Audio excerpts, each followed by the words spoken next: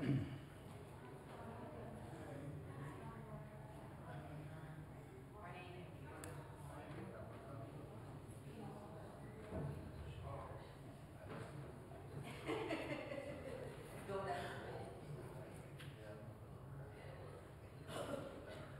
morning.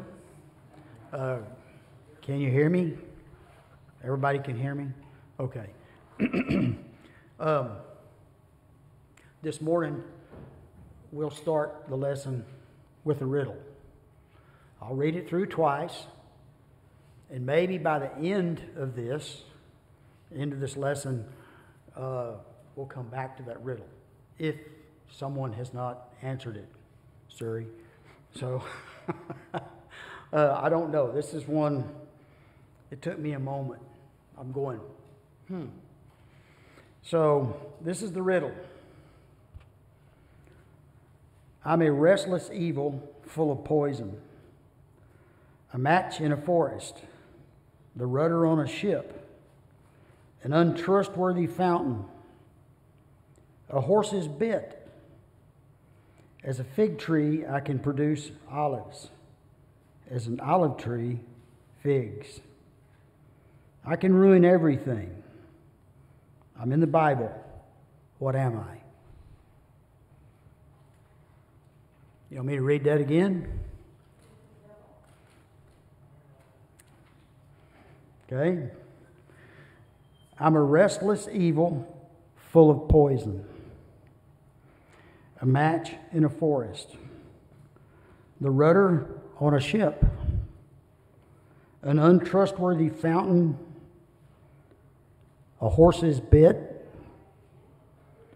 As a fig tree, I can produce olives. And as an olive tree, figs. I can ruin everything. I'm in the Bible. What am I? I'm not going to let you answer. I want people to think about this. Okay? Because it has everything to do with what we've been studying on. And the studies, just in case for those of you who haven't been here, is uh, BC had asked me to give a series of lessons on what are the fundamentals of being a Christian, the basics of being a Christian. Okay, and I think I, I've I've given him more than he intended for me to, to do. But the more I dug into this, the more I realized just how ignorant I was of why I'm a Christian. Okay. So you might pose this question to yourself again. I've asked this before, and, and, this is partly a review, but partly for the people who haven't been here before. Why are you a Christian? Some benefit to it? What drove you to being a Christian? Well, does anybody remember where we started this study? Chapter 1 written by Solomon. Proverbs. Proverbs 1. So if you would, turn to Proverbs 1. And I read from the New American Standard.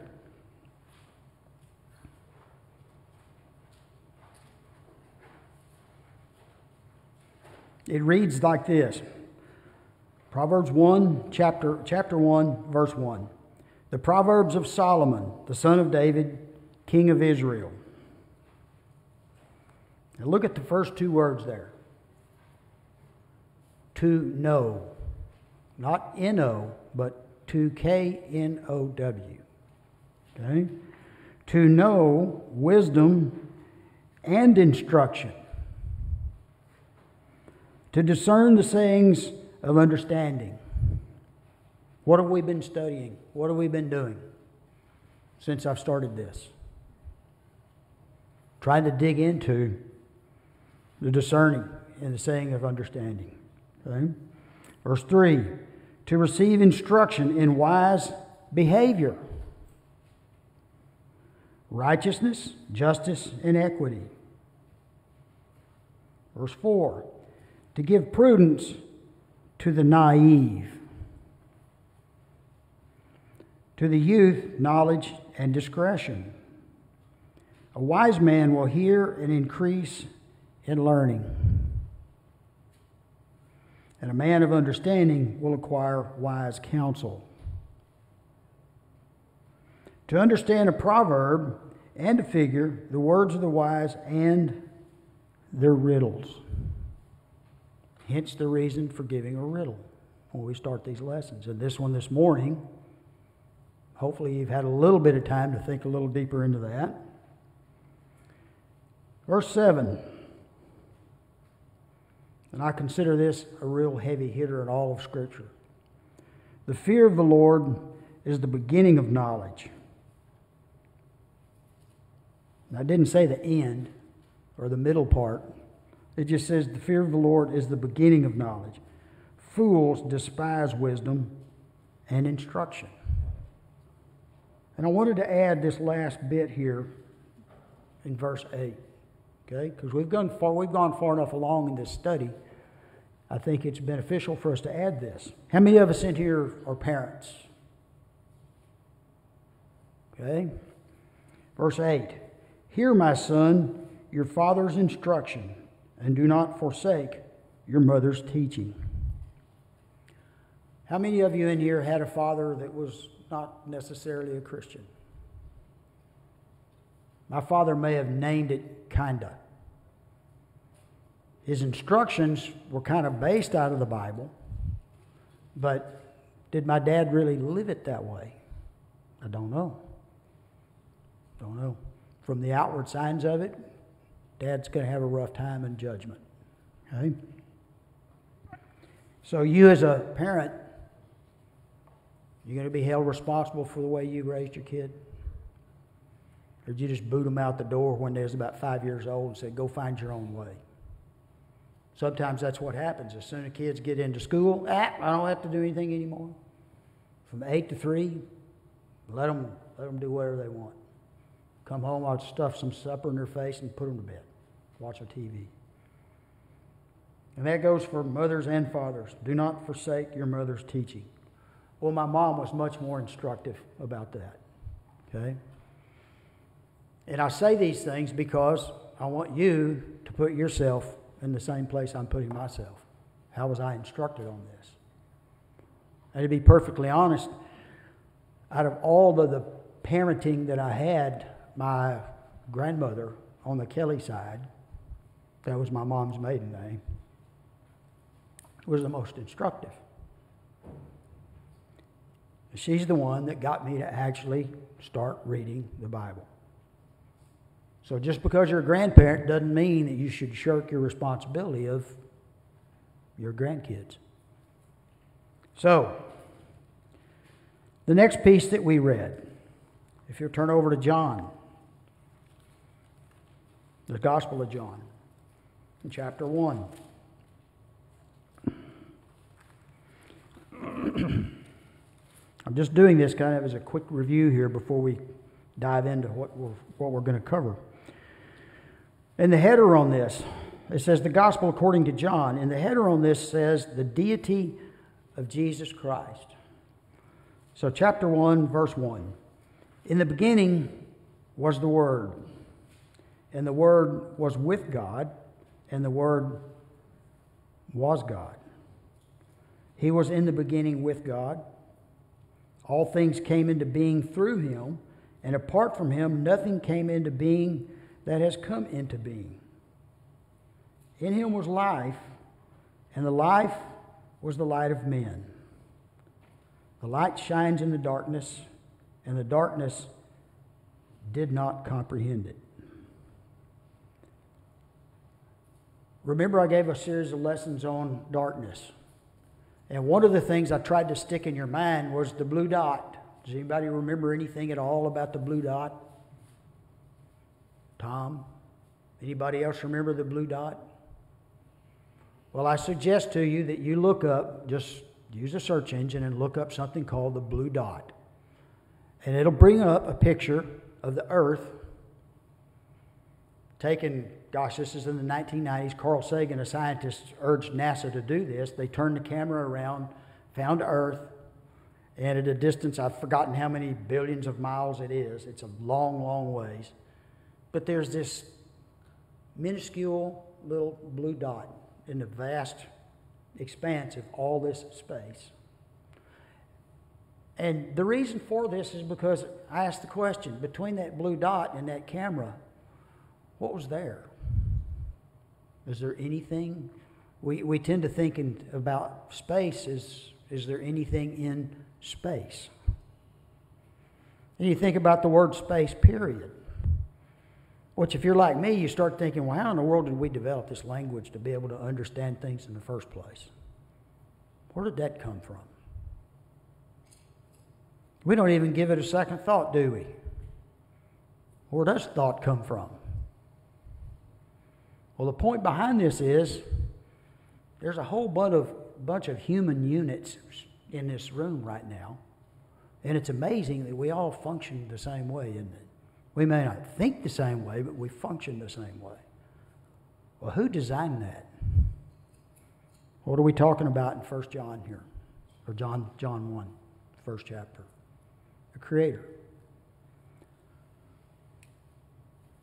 We get all philosophical about this and go, well, what in the world did he create the earth for in the first place and everything out there? What purpose is it?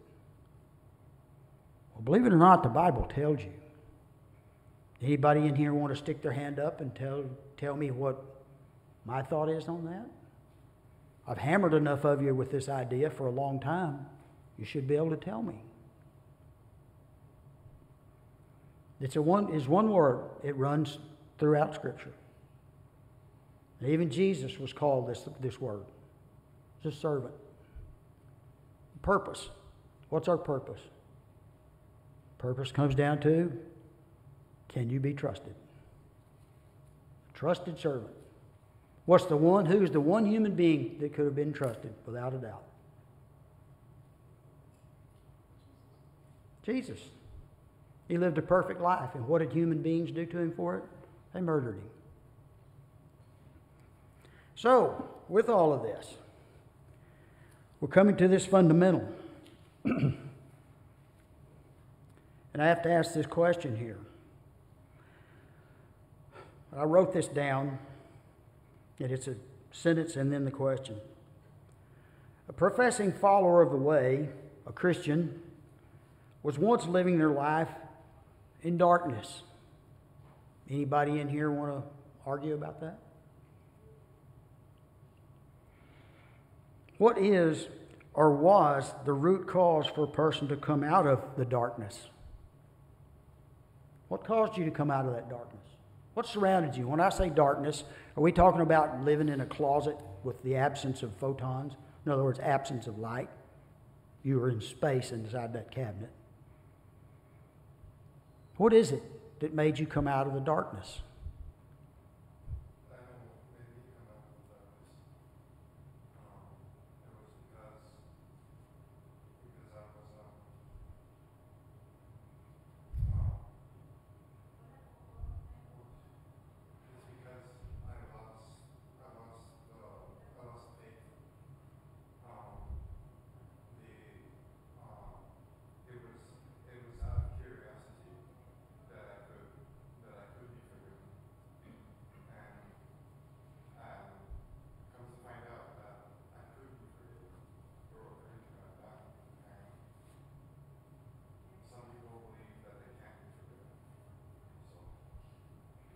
Well,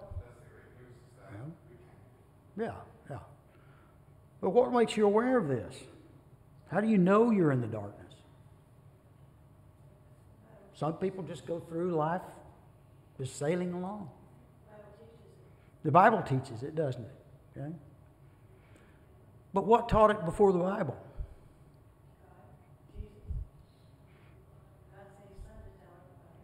So we go, we go to the third chapter in Genesis. You will not die.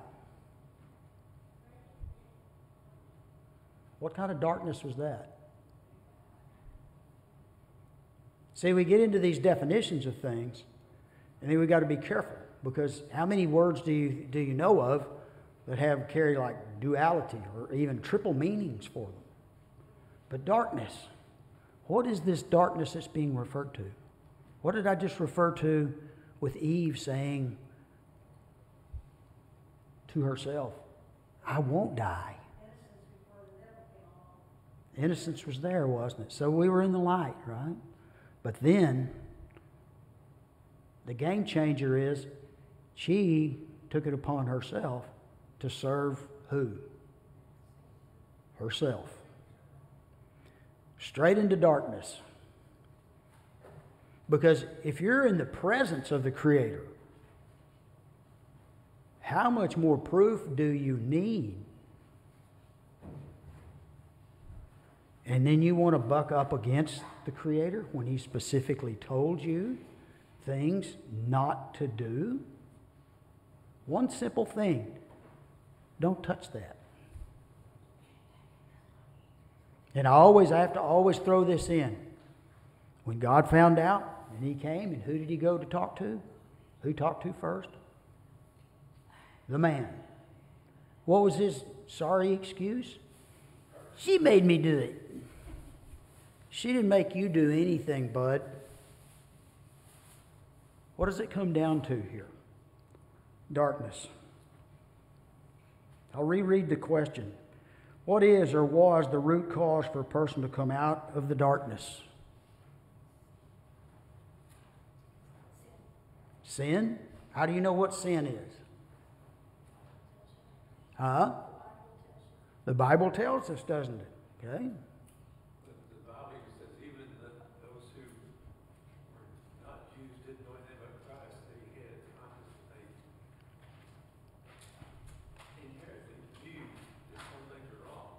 Mm-hmm. Well, let's use an illustration of what, what, is, what is wrong. Let's say you've got uh, a nice new shiny automobile sitting in the driveway and you left the key in it, even if it's one of these electronic keys. You come out to get in your car the next morning and your car is gone. And you have video camera that shows some young person, or just use a young person, walks up and steals it from you. Well, what's wrong with that? What was wrong with them stealing your stuff? Anything? It's wrong. What makes it wrong? Let's get to the essence of why we think this way. Knowing that it's wrong. Knowing that it's wrong? The knowledge of right Yeah. and wrong. Yeah. Well, whose, whose possession was that in the first place? Get down to brass tacks on this. It's your stuff, isn't it? Shouldn't you have the ability to tell someone, yes, I will give it to you, or I will donate it, or you can use it, rather than just having a thief in the night come along and just take it from you? Go back to the garden. You will not die. Who stole from who here?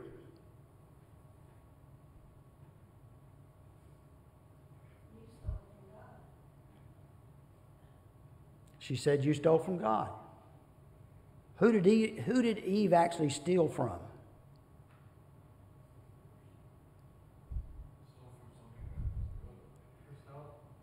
Herself. So, if you would, let me pose another question here. Let me go back to the first one here. What is or was the root cause for a person to come out of the darkness? The first thing is they realize they're in the dark. Well, how do they know that? Well, we've answered with the Bible. We've been given a set of rules, so to speak things to do, things not to do. So, we get to this next part. And it's right there at the very end of Proverbs where it said, the fear of the Lord. Wait a minute. I'm not supposed to be taking someone else's stuff. What happens when some guy steals his friend's wife? That does happen, doesn't it? What did David do when he looked down at Bathsheba?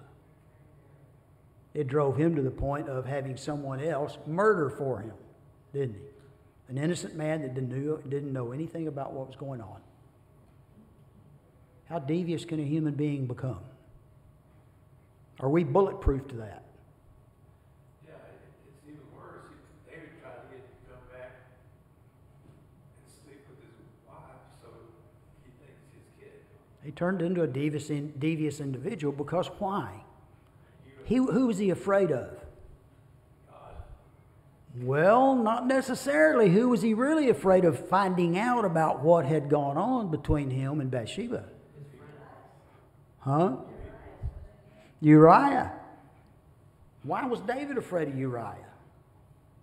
Because he had done the wrong thing and he knew it. He was guilty of it. What does sin supposed to do to us? Other than it makes a slave of us in one direction, right? Think about this. This is the root cause of where we're at here. This is the reason why something called grace has been given to us. Because who in here has lived a sin free life? I'll tie my hands behind my back. I can't hold my hands up. So again, we come back to this thing here. I've written it down as a question Was it fear?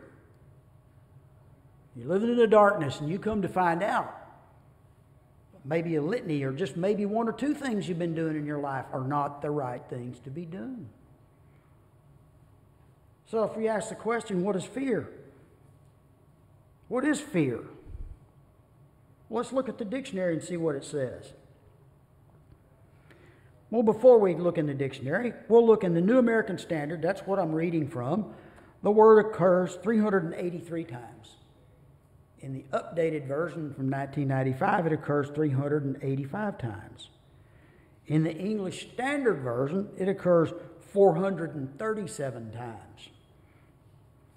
In the, in the, uh, the American, just the old American Standard, which was published around 1900, it occurs 487 times. In the NI, well, let's see, in the, uh, uh, the both, both versions of, of the King James is 501 times, and then in the New International Version, it occurs 336 times. So fear is a word that, you know, it's, it's pretty well entrenched into Scripture, right? So here, here's the definition of it. Fear, when it's used as a noun, that's a person, place, or a thing. Okay?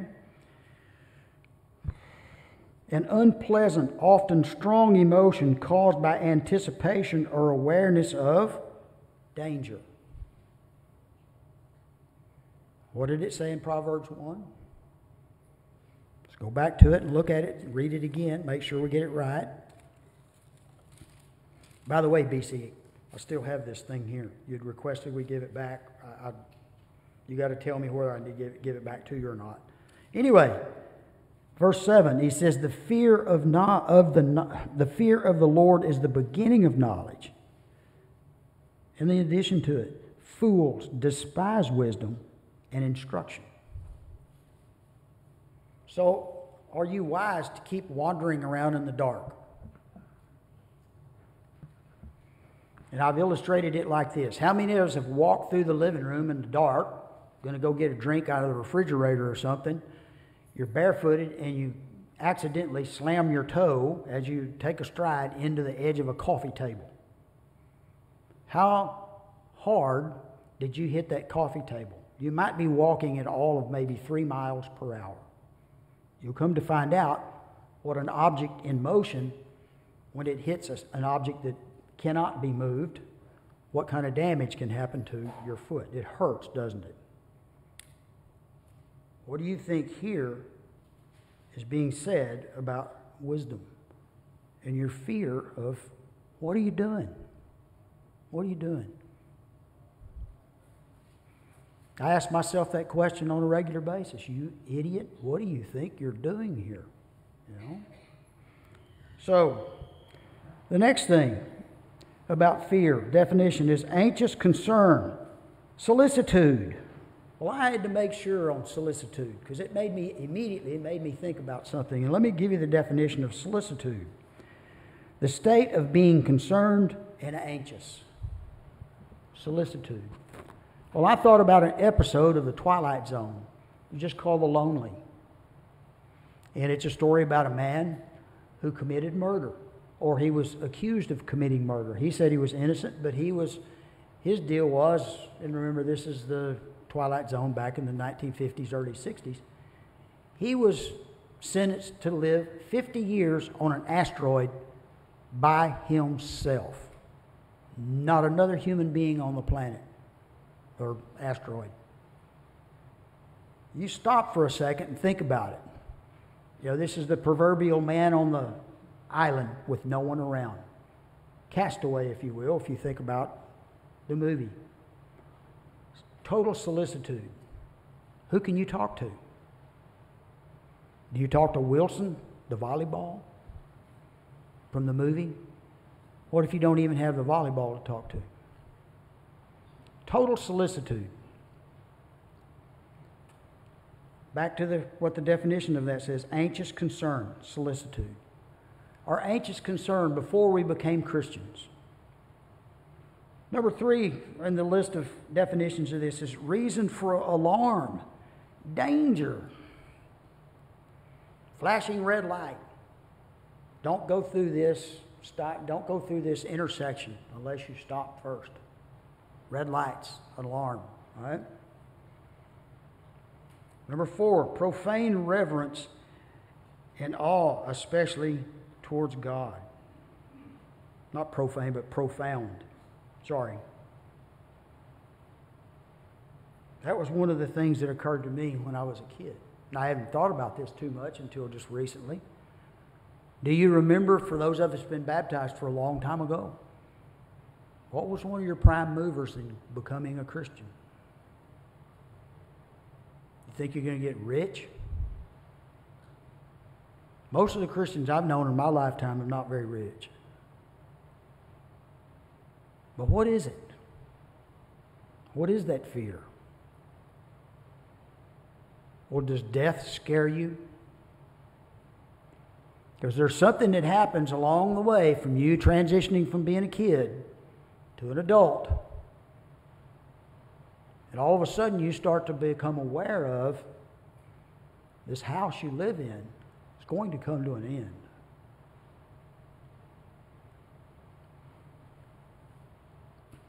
Does anybody remember the first time you heard anything about God? I can hazily remember getting my backside paddled outside of the front step on the church. I heard about it, but it was meaningless to me. But when you talk to someone about God, do you sound like you're just talking gibberish to them? Or can you carry on a reasonable explanation for what is going on here? I've said it before, and I'll say it again. One of the things that I've found that has become very helpful in speaking to people in your discipleship is to make them aware of who they are, what they are. What am I? Why am I standing up here? Why is BC going to get up and speak in a little while? Who gives prayers? What are you doing? Part of it is serving self, isn't it? But serving self to a purpose for a higher power? To demonstrate to who? To the people around you? What about to the constant? When I say the constant, are you kind of looking over your shoulder when you're doing something you shouldn't be doing and there's no one else around? Is your mind playing that trick on you? Let me ask you this question What's the first time you ever recognized fear? I had to think about this for a few minutes before I remember it. I'm not talking about getting your backside paddled, but I mean genuinely fear. I'll give you two instances. When I was a little boy, uh, we lived just maybe a quarter mile down the road from my grandparents. We lived in a little wooden house that was full of wind and dirt. My grandfather Roberts lived in a real nice house. And um, I think you've even been by it, haven't you? BJ? Remember, y'all stopped on the side of the road and y'all saw that. It didn't look like that when I was a kid, but looked a lot better. But nevertheless, I had this vague feeling. I remember I had this kind of a fear of being left alone. Well, one day, apparently, I'd fallen asleep in the middle of the afternoon, which is a rare occurrence for me. I hated taking naps. I got up, and there was no one in the house. And I had this extreme fear that I had been abandoned. Have you ever had that happen to you before? Can you imagine being abandoned and there's no one around to help you, especially when you're a little kid? That one gave me the fear. The next time I got a fear was watching an episode of The Twilight Zone called Terror at 20,000 Feet, Odessa, Texas. Me and my mom laying on the couch. I was laying right there in front of my mother. I was probably, I don't know, seven, eight, nine, ten years old, somewhere in that neighborhood. And if any of you have seen the episode, uh, there's a gremlin playing on an airplane wing when they're flying at, at 20,000 feet. And this guy's imagination, which is the actor was William Shatner, he keeps thinking about it and thinking about it, and he'll open the curtain and then close the curtain on the window. By the way, he had just gotten out of a mental institute. So me and my mom are all wrapped up watching this thing, and he whips open that thing, and that thing's face was right there. It took up the whole screen, and I, my mother, straightened out like a just, and I did too. And I felt a bolt go from my head, and it felt like it hit the bottom of my foot and came straight back up. Anybody ever had a sense of fear like that? That was an actual physical reaction to fear. I've had a few others just before I hit the side of a car going around 100 miles an hour. No, that was my only reaction. Grab the brake and go, no. Absolute fear. I know this that the week before I was baptized, I sat there, that's all I could think about. I hope I don't die before I'm baptized. Fear. So we're getting down to one of the fundamentals here about this of being a Christian. I suggest to you whether or not you did, have, did or did not have fear, the realization of it, that's something as a disciple we need to make people aware of. Do you know the condition you're, you're in? One of these days, you're going to face the one that created you, and there will be a judgment call on you. And you can get into the explanation about what judgment's for. And again, are you, are you or are you not a worthy servant? Because God repeatedly says, I don't want, I can't have an unworthy servant around me. I'll give an example of something that really scared me. We were, I was in college and Air Force was going to, gonna have a judge contest. Mm-hmm. And it's dark, I was driving down the road, and I was lucky, there was this guy laying in the middle of the road. And I barely had time to hit my brakes and stop, and get the Volkswagen, it's like that now. That was pretty scary. Oh, absolutely, it's scary. Yeah, yeah. Anybody that's had to come close on things like that, that's. But how scary is it to you when you read Scripture about your very existence? Let's just say hell is just you're winked out of existence because you're an unworthy servant. Well, we'll stop there. I'll, we'll cover this a little bit more next week. But this is one of the things that I think is a fundamental that hopefully you can use this as one of your weapons in the quiver, so to speak, when you speak to those about Christ. Now, back to the riddle. Let me read it one more time here. And then I'll give you places to read in Scripture that will cover this. I am a I am a restless evil. I am restless. I am a restless evil, full of poison.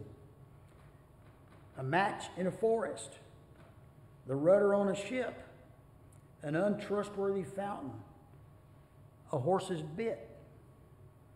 As a fig tree, I can produce olives. As an olive tree, Figs. I can ruin everything. I'm in the Bible. What am I? What is he talking about here? Tongue, she says, tongue? What controls the tongue? Muscles? What tells your muscles what to do? Read the first chapter of James, then go over and read the third chapter of James. And don't just race through it, read it for understanding. You're pointing? BC was pointing over here? Oh, Alistair. Tongue? Okay. Well, again, I pose that question what controls your tongue? This is what God's after right here. I was gonna say it. I was gonna say it. You were going to say tongue? Oh, mind? Yeah, he told me Okay. Yeah. Because you got to think about this. Who's in control of your mind? Who is you in the first place? Have you ever figured out who is you? Who is me? David Davis over there doesn't control my mind. Neither does BJ or anybody else in here. I control this. This is what James teaches you in the first chapter. and the third chapter, he covers it. Maybe next week we'll read the third chapter out loud and go through it. If I've said anything and it's an error, anything that you have a question about, please let me know. Does anybody have the answer to the riddle? I don't have an answer, but I do have some knowledge to, to talk about the tongue. Um, it's in Proverbs, Proverbs fifteen, verse two. Um, the tongue of the wise commands knowledge, but the mouth of fools pours out folly. Yeah, well, James. Yeah, John.